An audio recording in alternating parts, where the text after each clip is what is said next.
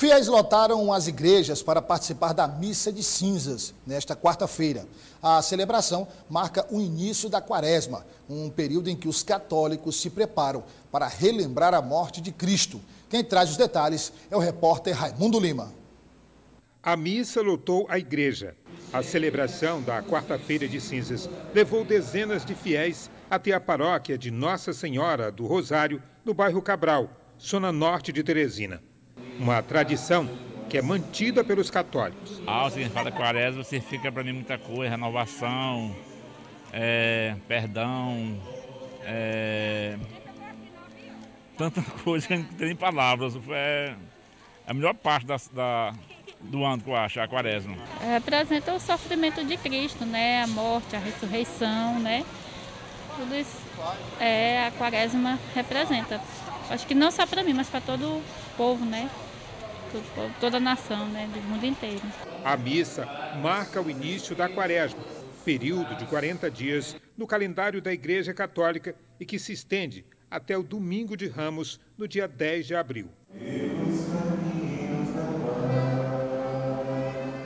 A quarta-feira de cinzas para a Igreja Católica deve ser o início da preparação dos cristãos para relembrar a paixão, morte e ressurreição de Cristo. A quaresma certamente deve ser entendida como um grande retiro, um tempo oportuno de preparação para as festividades da Páscoa do Senhor. Infelizmente, como você disse, muitas pessoas não entendem. Ah, a quarta-feira de cinzas marca esse início e é o tempo onde nós vamos é, nos enriquecer com a palavra de Deus, com os atos de penitência, com as eucaristias, com a confissão é realmente o tempo do convertei-vos e crede no Evangelho. Então, num tempo de exterioridade, nós somos convidados a uma interioridade, buscando lá no profundo de nós os valores que mais nos possibilitem o crescimento e a transformação de nossa vida. Os fiéis entendem que o período deve ser de profunda reflexão pessoal. É um momento que toda a comunidade católica comemora, esses 40 dias de quaresma vão, vão rezar, vão orar, vão se resignar dos seus pecados e é, ter fé para que no final todos venceremos. Muito marcante, um momento muito importante para todos nós fiéis, cristãos, católicos.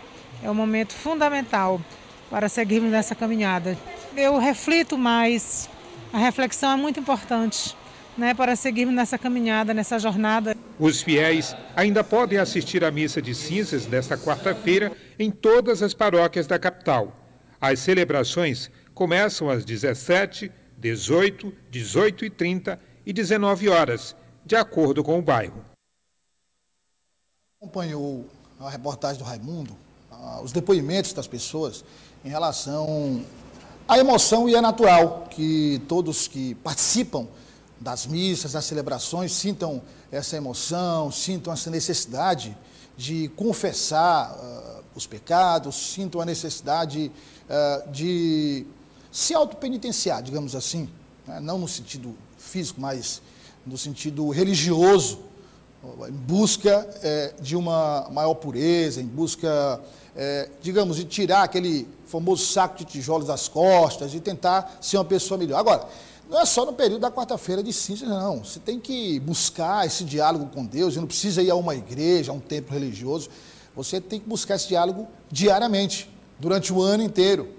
Então, é importante que se tenha é, essa consciência de que é, rezar em casa, antes de dormir, quando sai, quando chega, são pequenos gestos é, que você faz, gestos é, que não exigem nada e que são muito significativos do ponto de vista religioso.